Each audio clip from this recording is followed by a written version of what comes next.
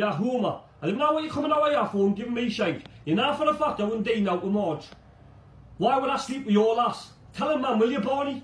Yeah, well, that's the dog.